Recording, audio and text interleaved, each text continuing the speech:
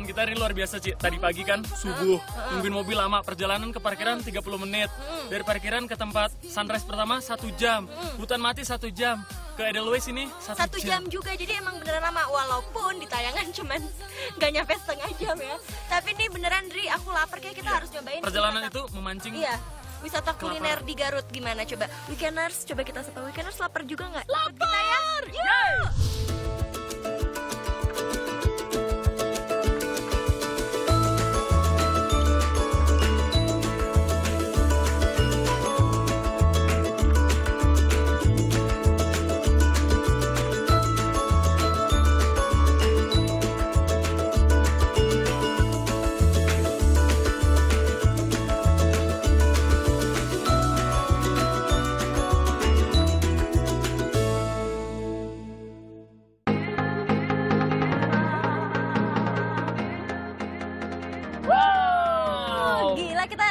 Dari gunung loh langsung sulap turunnya. Wuh, langsung kita nih makan di satu tempat yang ini itu favoritnya orang Wow. Garut. Jadi kalau semua datang ke Garut nyobain makan domba di sini namanya adalah Domba, House domba house Lasmi Ningrat. Yes. Nah, jadi ini makanannya ada banyak di sini semuanya tentunya dari domba muda katanya. Jadi ini yang paling recommendednya adalah sate, Sate.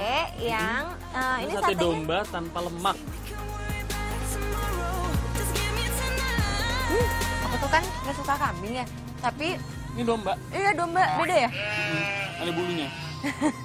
jadi masa kambing gak ada bulunya. Jadi si domba ini eh, nggak ada bau-bau amis gitu loh. Kalau kan Oh, biasanya nggak kalau hmm, nggak bau perengus ini, ya apa? Nggak bau bedus ya. Iya, jadi kayak ini tuh enak. Bener Bau pedes kan? tuh gimana? Iya bener. Bau Kayak pas dikunyah kan biasanya suka naik kan. Ini enggak. Oke, berarti lu suka ya. Suka dong. Gue nyobain yang ini ya. Boleh? Apa tadi namanya sih? Rengsengan. Nah, aku makan ini, tongseng. Coba ya. Hmm. Hmm, enak banget. Sumpah. Kalau tongseng tuh selalu ada kolnya gini ya, sayur-sayuran. Mantap. Up to the platform of surrender. I was brought, but I was kind. And get. Fix ini favorit gue. Itu, coba aku sumpah. aku penasaran. Nggak, nggak usah, nggak usah. Eh, Fix kenapa ini sih? favorit. Ih, parah Enak banget yang ini. Pelit banget, Weekenders. Enggak. Cobain. Kuahnya rada-rada kayak Apa? tongseng tapi gimana ya lebih gurih Kayak asin ada gitu. buntutnya juga ya. Ini tuh buntut ya. Kayak lihat deh tuh. Aku Oh, nggak lihat sih pas rusuk lagi. ya, tulang rusuk. Wah, gila sih Weekenders ini aku udah nggak konsen lagi, nggak tahu mau ngomong apa karena ini beneran enak banget. Jadi kalau kamu datang ke Garut, Mm. ini wajib banget. Seumur umur aku datang ke Garut tiga kali sih baru. Ini baru sekarang nyobain, nyesel banget kenapa nggak baru dari dulu. Sumpah kita makan dulu ya Weekenders ya.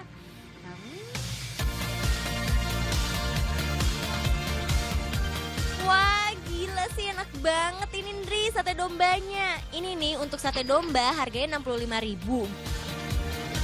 Gulai dombanya juga sama 65.000 ribu.